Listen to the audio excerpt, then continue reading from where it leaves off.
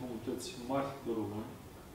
Aș începe cu un anunț foarte, zic eu, foarte important, pentru că mai ales pentru cei care totuși s-au mai îndoit de-a lungul timpului că principalul obiectiv din România și chiar din Europa astăzi, acel, acel obiectiv pentru noi toți important, podul de peste Dunăre, îi spun eu cum spun mereu de la Tulcea, Brăila, cu toate că mulți îi spun podul la Brăila, eu spun uh, podul de la Tulcea, pentru că ideea acestui pod și, de fapt, sprijinul pentru acest pod a plecat de la Tulcea și cândva peste ani o să discutăm o să discutăm cu siguranță și toate aspectele care au stat la baza acestui foarte important obiectiv, modul în care el s-a luat naștere, cine l-a susținut, cine l-a finanțat, cine a semnat pentru el, cine s-a bătut pentru obținerea vize, autorizații și restul.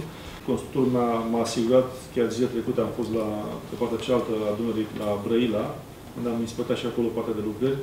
Uh, constructorul a spus foarte clar că în luna august 2022 este termenul de finalizare acestui obiectiv important, ceea ce înseamnă cu mult timp înainte de termenul asumat pentru, pentru finalul acestui obiectiv. Ieri a plecat, a fost trimis la, la Bruxelles, la Comisia Europeană, cererea de finanțare pentru a, a fi acest obiectiv important de contat din bani europeni adică valoarea lui este de undeva la 550 de milioane de euro, din care vreo 340 de milioane sunt uh, fonduri europene și pentru care, cum spuneam, ieri, cu toate că mulți se îndoiau acest lucru, ca ministru interimar al fondurilor europene, am trimis la Comisia Europeană uh, întregul uh, pachet de documente, astfel încât să putem cere la Comisia Europeană uh, rambursarea banilor deja cheltuiți pe acest proiect. În ultima ședință s-a aprobat uh, un uh, proiect de hotărâre de guvern prin care s-au alocat din fondul de intervenție la, de la guvern o sumă de aproximativ 4 uh, milioane de lei pentru a se face decolmatarea. Este vorba de Rosetti, care acest canal care este colmatat este singura cale de legătură dintre localitate și Surina pentru transportul către Turcia, o situație delicată pentru cetățenii de acolo, la fel cu sprijinul domnului ministru, această alocare de 4 milioane a fost decisă prin hotărâre de guvern, urmând să se intre fără licitație pe situații de urgență, bineînțeles, pe declamatarea acestui canal pentru acest... Două canale, Letea și, da, canalul și Sidor. De asemenea, spitalul județean. Aici, la fel, în în luna iunie o să fie lansată documentația, s-a mai spus acest lucru, dar vreau să reamintesc această importantă măsură. Aproximativ 60 de milioane de euro este întregul buget. Bun, sunt două componente, dar pe întregul spital județean sunt 60 de milioane de euro.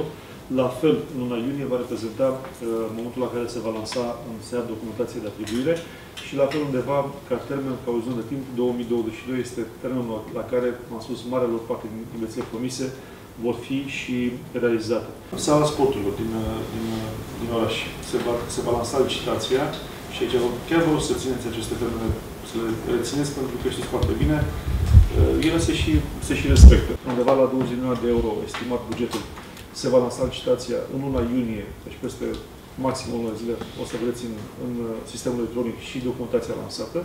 Cred că s-au punctat anumite uh, investiții foarte importante care au căpătat stabilitate, de care anumiți oameni din județul Tulcea și nu numai din, uh, din toată țara încercau să comenteze că poate, că nu se poate, că s-ar putea. Nu există acest lucru, podul uh, a intrat în linie dreaptă, cererea, aplicația de finanțare, cererea de finanțare este depusă. Eu știam cu mult înainte care este stadiul, recunosc că da, dar nu am vrut să spun acest lucru pentru că vreau să declare uh, ministerul care a lucrat la ea uh, și, și aici mai este ceva de punctat. Credeți-mă, dacă nu era această perioadă de interimat, eu cred că mai durau patru luni de zile până să depunea cererea de finanțare. Am și vorbesc, de, vorbesc la fel în cunoștință de cauză.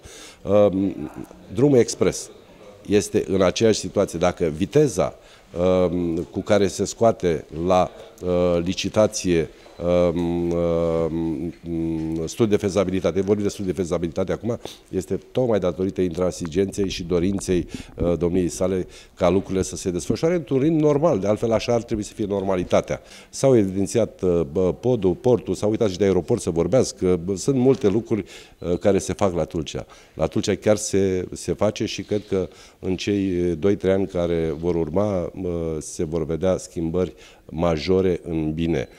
sunt.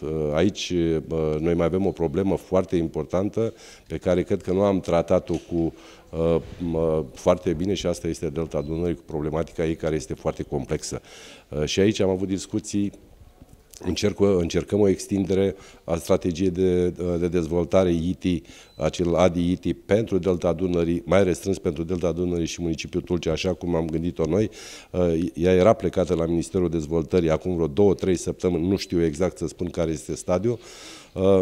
Cum să spun, și cu aceste două probleme, dacă reușim să le așezăm pe făgaș, cred că județul Tulcea are într-o mare măsură multe din problemele de 30 de ani uh, rezolvate. Pe uh, următorii trei ani se vor vedea schimbări majore în bine în județul Tulcea, uh, nu numai lui IT Delta Dunării, cât și fondurilor atrase pe celelalte programe.